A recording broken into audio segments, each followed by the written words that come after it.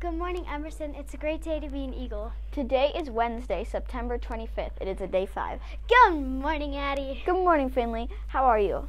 I'm happy to be doing the announcements with you again. Have you noticed that we are not alone today? I don't see anyone else here with us. Look behind you. Oh, that's Miss. Kaiser, who's behind us today. She's our new secretary this year. That's right. She's our new secretary in the office this year. She also she is also the first new staff member here at Emerson that we want to introduce you to. We are, are we are, we are going to share some facts about her to help to help you get to know Miss Kaiser a little better.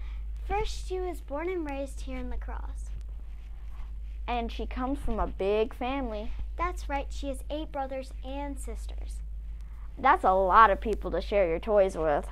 She's she also has three children of her own. And as you can see in the picture, she has two grandchildren as well. Miss Kaiser will, will be in the office every day and always willing to help. She's very friendly and kind. Be sure to say hi whenever you're in the office. Welcome to Emerson, Miss Kaiser. We're glad to have you here. We'll, fe- we'll feature some new people as as well. That's right, but for day, but for today, we need to move on to birthdays. There are no birthdays today. However, since this is our last set of announcements for the week, we have several other birthdays to share. That includes two that we have missed yet yesterday. Happy birthdays to Fiona in first grade and Miss Glenn, who teaches ELL. We hope you both had a gr- good day yesterday. Next up are some early birthday wishes. To special so a special happy birthday to Moral in kindergarten who has a birthday tomorrow. And Danica in kindergarten who has a birthday on Friday. Guess who else has a birthday on Friday? Who? Miss Kaiser. That's amazing. Happy birthday, Miss Kaiser. Happy birthday, Miss Kaiser. we should take Friday off in honor of her birthday. Uh, I think we already have Friday off.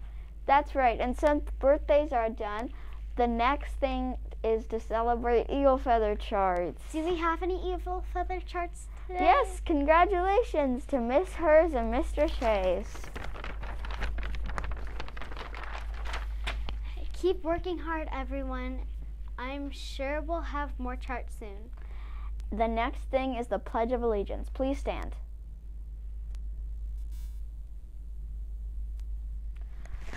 I pledge allegiance to the flag of the United States of America and to the republic for which it stands, one nation, under God, indivisible, with liberty and justice for all.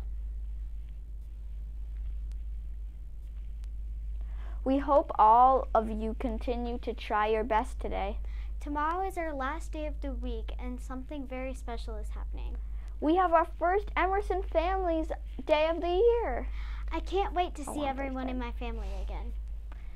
We'll meet in the gym in the morning like we usually do. And everyone new to the building will be in a family group as well. We look forward to seeing everyone there.